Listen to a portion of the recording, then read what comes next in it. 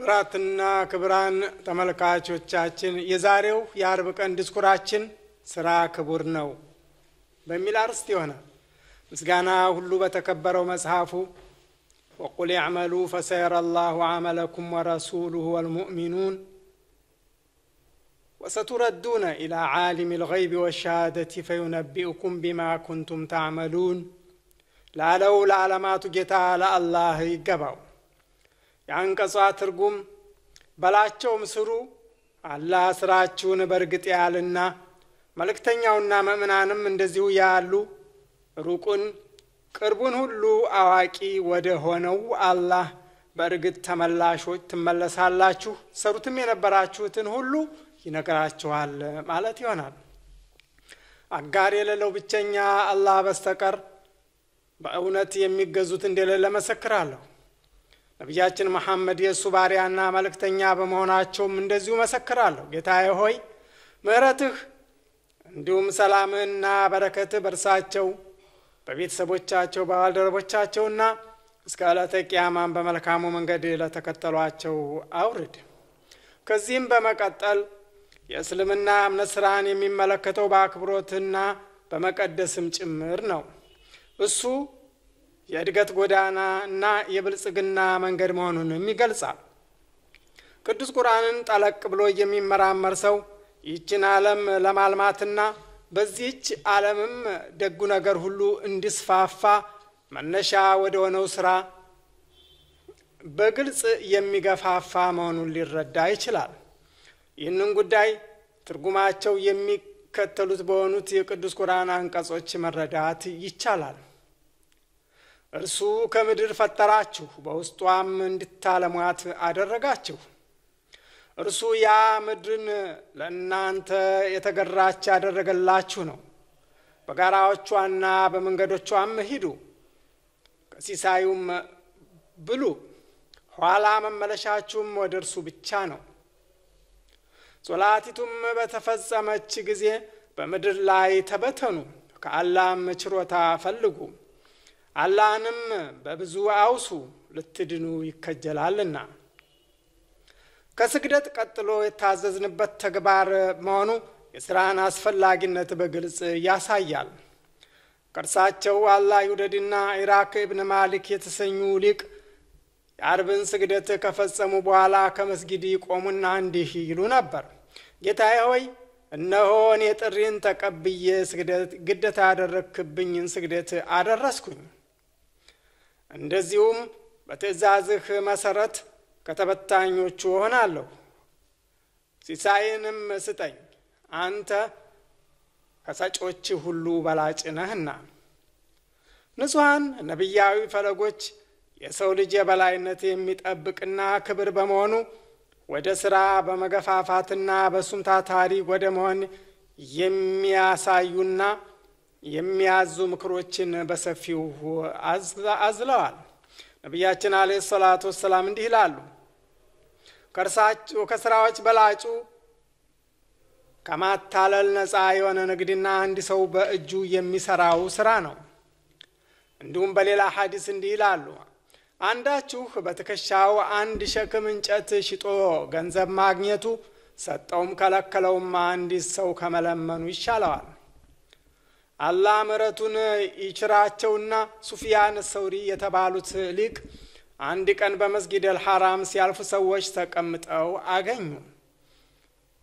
ምን እዚህ ያስቀመጣችሁ ሲሉም ጠየቁ። እነሱም ምን እንስራ አሉ። እርሳቸውም ከአላህ ችሮታ ፈልጉ፣ የሙስሊሞች ሸክም አትሁኑ አሏቸው። ከእርሳቸው አላህ ይውደድና ዑመር ብን አልኸጣብ እንዲህ ይሉ ነበር አንዳችሁ ጌታዬ ወይ ሲሳይ ስጠኝ እያለ ሲሳይን መፈለግን ትቶ አይቀመጥ። እናንተ ሰማይ ወርቅ ወይንም ብር የማታዘንብ መሆኗን በእርግጥ ታውቃላችሁና። ስራ ክብርና እጅግ አስፈላጊ በመሆኑ በእነሱ ሰላም ይውረድና ነቢያት በእጃቸው ስራ ነበረ የሚተዳደሩት። ነቢያችን ሰለላሁ ዐለይሂ ወሰለም እንዲህ ይላሉ ከእርሳቸው ሰላም ይውረድና ነቢዩ ዳውድ ከእጃቸው ስራ እንጂ አይመገቡም ነበር። ነቢዩ ዘካርያም አናጺ ነበሩ። ነቢያችን ሰለላሁ ዐለይሂ ወሰለም የሚያስፈልጋቸውን ነገር በርሳቸው በራሳቸው ያከናውኑ እንዲሁም ቤተሰቦቻቸውን ያግዙ ነበር። ከእርሳቸው አላህ ይውደድና እናታችን አይሻ እንዲህ ይላሉ። የአላህ መልእክተኛ ጫማቸውን ይሰፉ እንዲሁም ልብሶቻቸውን ይጠቁሙ ነበር። ነቢያችን ሰለላሁ ዐለይሂ ወሰለም በሕይወታችን ፍጻሜ ላይ ብንሆንም እንኳ ከስራ ወደ ኋላ እንዳንል ያዙን ነበር። እንዲህም ይላሉ፣ በአንዳችሁ እጅ የሚተከል ፍል እያለ ትንሣኤ ቀን ብትደርስ እና ከመነሳቱ በፊት ይህን ፍል መትከል የሚችል ከሆነ ይትከለው። የሥራ ክብርነት እጅግ ከፍተኛ በመሆኑ የእስልምና እምነት አንድ ሰው የዕለት ምግቡንና የልጆቹን ፍላጎት ለማሟላት ጥረት በሚያደርግበት ወቅት ጉዳት ቢደርስበት ሰማዕት መሆኑን አረጋግጧል። ቅዱስ ቁርአን ከስራና እውነት እውነትን የበላይ ከማድረግ መካከል ያለውን ትስስር እንደዚህ በማለት አረጋግጦታል። ሌሎችም ከአላህ ችሮታ ለመፈለግ በምድር ላይ የሚጓዙ ሌሎችም በአላህ መንገድ በሃይማኖት የሚጋደሉ እንደሚኖሩ አወቀ። ከዕለታት አንድ ቀን ነቢያችን አለይሂ ሰላቱ ወሰላም ከባልደረቦቻቸው ጋር ተቀምጠው እያለ አንድ ጠንካራና ታታሪ ሰው አጠገባቸው አለፈ። ባልደረቦቻቸውም የዚህ ሰው ብርታትና ታታሪነቱ እጅግ ደነቃቸውና ይህ ብርታትና ታታሪነት በአላህ መንገድ ቢሆን እንዴት ደግ ነበር አሉ። ያን ጊዜ ነቢያችን ሰለላሁ ዐለይሂ ወሰለም እንዲህ አሉ።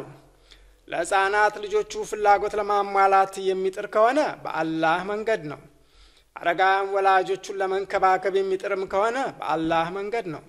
ራሱን ከመጥፎ ለመታደግ ወጥቶም ከሆነ በአላህ መንገድ ነው።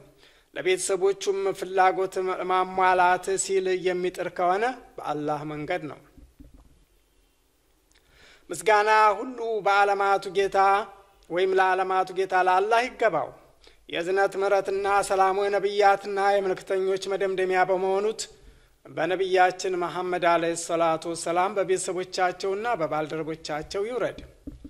የእስልምና እምነት ስራችን እንዲሁ በደፈናው እንድናከናውን ብቻ አይደለም ያዘዘን፣ ይልቁንም የአላህን አዘ ወጀል ምንዳ በማሰብ ጥራት በጥራት እንድንፈጽመው ይገፋፋናል።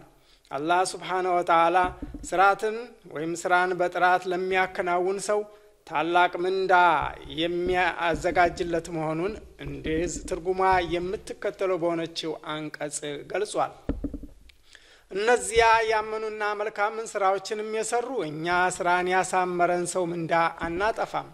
ስራን በጥራት ማከናወን አላህ ከሚወዳቸው ነገሮች አንዱ መሆኑን ነቢያችን አለይሂ ሰላቱ ወሰላም እንዲህ በማለት ገልጸዋል።